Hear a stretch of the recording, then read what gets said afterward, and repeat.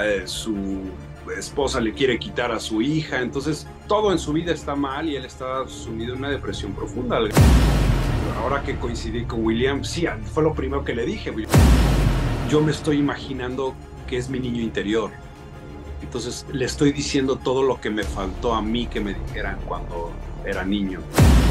Pero sí es una batalla diaria, o sea, no, creo que no es algo que dejas atrás al 100%, incluso la depresión sí, yo creo que sí es algo que, te queda y que arrastras.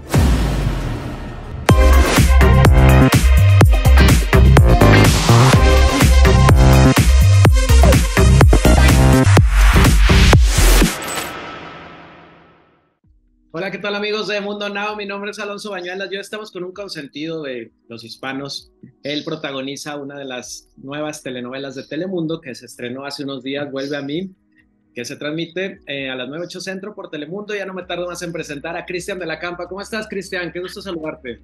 Hola, Alonso. Muy bien, contento de estar aquí, contento de estrenar Vuelve a mí, eh, que la gente ya esté disfrutando de este proyecto de Telemundo y, lo siento en el, amor hacia, en mi inbox, ¿no? Me escriben y me dicen, oye, me encanta Sebastián, me encanta digo, sí, no, André, me encanta la relación de Diego con, con el actor Sebastián. Entonces, eh, está muy padre, ¿no? Recibir todos estos mensajes y el cariño que me manda la gente por el proyecto. Y aparte, te tocó hacer a Diego Carranza, que es el, el, bueno más bueno de la serie, ¿no? Según, según, lo, que, según lo que has dicho, ¿no? Y, aparte, este, eh, tienes amistad con el, con el niño, ¿no? Que, que, bien lo mencionabas, que es el hilo conductor de, de, entre los personajes, ¿no? Pero cuéntame acerca de, de precisamente de Diego, Diego Carranza. Pues mira, Diego es un artista, es un artista, es un hombre, como tú lo dices, eh, es muy bueno, creo que es el, hombre más puro de, toda la, de toda la novela. Y muchas veces eso, eso conlleva un gran trabajo porque los que son más puros son los que tienden a sufrir más, ¿no? Entonces lo vemos al principio de la historia, que Diego es un personaje en donde a pesar de su bondad y a pesar de su empatía, sufre muchísimo y arranca eh, en un momento en donde le quieren cerrar el negocio, en donde atropella al niño, en donde este, eh, su esposa le quiere quitar a su hija, entonces todo en su vida está mal y él está sumido en una depresión profunda al grado de que ya ni, siquiera quiere estar en este mundo, hasta que sucede el atropello al actor que es Andrés Sebastián, que es un muy buen actor, y y bueno, a raíz de ese evento empieza a surgir esta, amistad entre, André, entre Andrés y Diego, y creo que eso le termina salvando la vida a Diego, ¿no? Pero es importante ver cómo, cómo estos dos personajes empiezan a conectar y empiezan a generar una complicidad, y, y cómo Diego, a raíz del amor que empieza a sentir hacia este niño, quiere ayudarlo a encontrar a su familia, a recuperar la memoria, entonces es, bastante interesante. Y del otro lado tienes a Samadhi, que, a Samadhi Sendejas, que, pierde a su hijo, ¿no? Es muy, debe ser muy difícil para un padre, para una madre perder, perder a su hijo. Y toda esta el dolor y la búsqueda constante de, este niño, ¿no? Entonces, eventualmente creo que estos mundos están, están hechos para colapsar el uno con el otro y eso es, creo que, lo más interesante de la historia.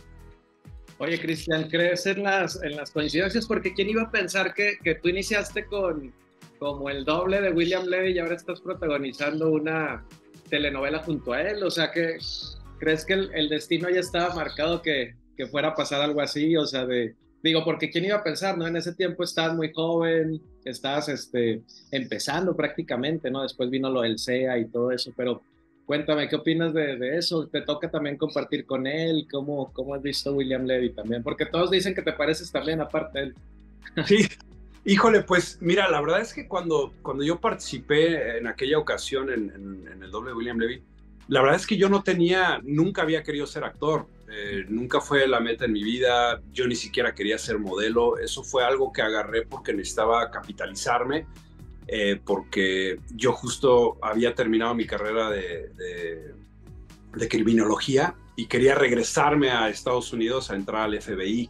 Entonces necesitaba dinero y alguien me dijo, oye, pues están buscando en este programa el doble de William y pues tal vez si ganas te dan dinero. Y dije, chichín, ahí voy y, bueno, gane o no gane, igual y me dan una lana y con eso me financió mi, mi viaje para allá.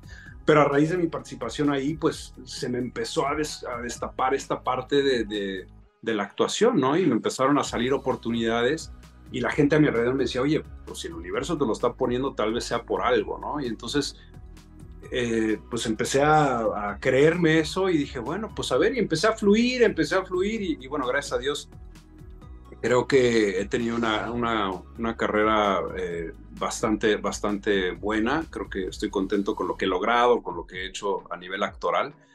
Y, bueno, ahora que coincidí con William, sí, fue lo primero que le dije, yo no lo había conocido en aquella época, no nos habíamos vuelto a ver. Y le dije, oye, ¿no te acuerdas de mí? ¿Cómo estás? Y le dije, oye, pues te acuerdas que estuvimos allá, le digo, qué padre, que pues bueno, pasaron varios años, 10 años me parece, 11 años de eso. Le digo, y finalmente estamos aquí, un, honor trabajar contigo, que no sé qué. Y, bueno, tenemos pocas escenas dentro de toda la novela como tal, juntos. Pero, pero bueno, en el pasillo nos eh, llegamos a coincidir y, bueno, el, elenco es maravilloso en general, o sea, está Rodolfo sí. está Kimberly Ramos, o sea, Laura Flores, o sea, hay un elencazo realmente. Fernando Changuerotti, que te decía. Fernando, sí, Fernando Changuerotti, está Ferdinando Valencia, este, Samadi Sendejas, Andrés Sebastián González, hay, hay realmente Diego Klein, que Diego Klein hace un personaje relativamente pequeño que, que, tiene un buen arco dentro de la historia, pero su participación fue, fue relativamente pequeña, entonces eh, eh, está, eso está increíble, ¿sabes? O sea, creo que, creo que está, está muy padre el, el elenco que se armó. Oye, Cristian, hay algo que, bueno, me llama mucho la atención porque, este, digo, tú eres una persona también como muy este, transparente y honesta con, con, lo que te va pasando, tú lo dices tal cual, ¿no? También, pero este, eh, has dicho que igual tú no eras de las personas que llorabas, incluso antes de la actuación, decías que llorabas, lloraste una o dos veces en tu vida y después de la actuación el llorar fue como una catarsis, ¿no? Para liberar emociones. Este, este personaje también te va, de Diego, te, ha ayudado, o tus personajes te ayudan a, eso. En específico, este de Diego te ayuda a liberar esas emociones. Sí, eh, sí, me, yo venía de un régimen militar, ¿no? Venía de estar seis años en la Fuerza Aérea y donde todo tiene que ser duro y tiene que ser estricto y no lloras y no muestras emoción y de repente pasé a empezar en la actuación y mira, ella se va a parar aquí, no te va a pegar y tienes que llorar. dije, ah, caray, pues aunque me pegue no va a llorar. Entonces, de repente tuve ese choque. Pero, pero sí, definitivamente creo que en general los hombres del mundo tienen que liberar este estigma de, no, tan, no nada más de llorar, sino de, hablar de emociones, este, porque eso sí es una catarsis y sí te sana por dentro. Eh, en el aspecto de, Diego, o sea, Diego en particular, a mí me ayudó, ¿por qué? Porque yo no soy padre de familia y en esta novela interpreto a alguien que es padre de familia y que además tiene que ser paternal con este otro niño que no es suyo, ¿no? A André, que, es el niño que, que atropella.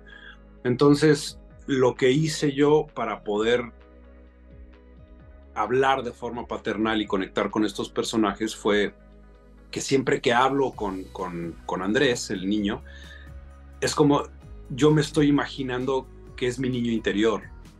Entonces le estoy diciendo todo lo que me faltó a mí que me dijeran cuando era niño.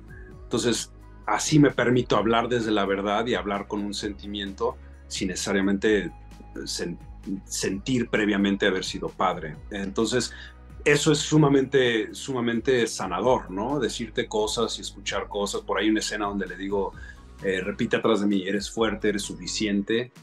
Y eso es algo que a mí nunca me dijeron. Entonces, decírselo de repente y, pensar que es tu niño interior, pues te conecta de otra manera, ¿no? Y creo que la gente que, que vio la escena, que ya salió al aire, eh, tengo varios mensajes donde me dicen, híjole, qué padre escena, qué bonito. Entonces, creo que, creo que de eso se trata, ¿no? La actuación, conectar, hablar desde la verdad y, y bueno, si puedes sanar al mismo tiempo, pues qué mejor. Y, y hablando precisamente también de eso, porque yo creo que pocos saben las historias que tiene cada, uno de los actores. En tu caso, yo creo que tienes una historia bien interesante y conmovedora, ¿no? Este, que en su momento has dicho, ¿no? Que, en algún momento tuviste una depresión por, y que la sanaste con una, con medicinas de la tierra de 15 minutos que te llevó donde sanaste ahí varias heridas desde la ausencia de tu mamá.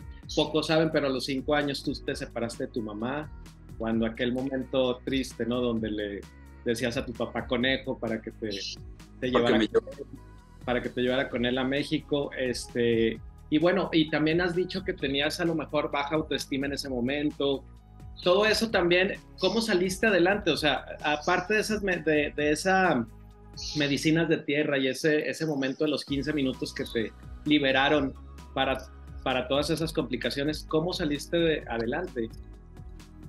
Eh, pues mira, todo eso me ayudó, o sea, me ayudó, pero sí es una batalla diaria, o sea, no, creo que no es algo que dejas atrás al 100%, incluso la depresión, sí, yo creo que sí es algo que, te queda y que arrastras constantemente, ¿no? Pero, pero em, empiezas a encontrar herramientas y empiezas a justamente a desmitificar esto de no pedir ayuda, de no hablar de las cosas. Y por ejemplo, para mí, haber hablado de esto públicamente en mis redes y haber dicho cosas, eh, fue también muy catártico y me ayudó a, me ayudó a sobrellevarlo, ¿no? Porque cuando admites que tienes algo, híjole, es, es, el paso yo creo que más grande para sanarlo. Y, déjame agradecerte también eh, todo, todo el, toda la investigación que has hecho sobre, sobre mí. Eso es algo que se agradece eh, de manera increíble porque no mucha gente lo hace. Entonces te aplaudo eh, tu labor y, te aplaudo como, como periodista y como entrevistador. Este, pero sí, es algo que se lleva constantemente eh, y creo que nunca lo sobrellevas. O digo, no sé si habrá gente que sí. Eh, de hecho, he vuelto a hacer la medicina de la tierra, lo he hecho como dos veces, he probado ayahuasca, ahora me rodeo mejor de gente, ¿no? Cuido más mis amistades y a quién le comparto energía. Este, ya no estoy tanto en redes, si te fijas, casi no subo cosas, ya no estoy en redes porque de repente eso me enfermaba, de repente si tú tienes una autoestima un poco frágil, estar en redes pues, te termina de hundir, ¿no? Porque todo es perfecto allá, entonces hay que descubrir y analizar qué es lo que te hace daño, qué es lo que no te suma y empezar a alejarte de eso. Y creo que ese es el, mejor paso para estar sano y para estar este, eh, pleno, ¿no? Muy bien, Cristian, pues ya por último, podrías invitar a la gente de Mundo Now, de Atlanta, de todos Estados Unidos, que no se pierdan Vuelve a mí, donde estás con este personaje de Diego y donde estás con William y Samadhi, por supuesto. Claro, a toda la gente, a todos los seguidores de Mundo Now, los invito a que no se pierdan. Vuelve a mí por Telemundo a las 9 pm, 8 centro. Y no se la pueden perder, es una gran historia con un gran elenco y no se van a repetir. Muy bien, muchísimas gracias, Cristian. Un gustazo hablar contigo. Gracias, hermano, y gracias por tu chamba, ¿eh? Muy buena entrevista. No, gracias, gracias a ti por tus palabras.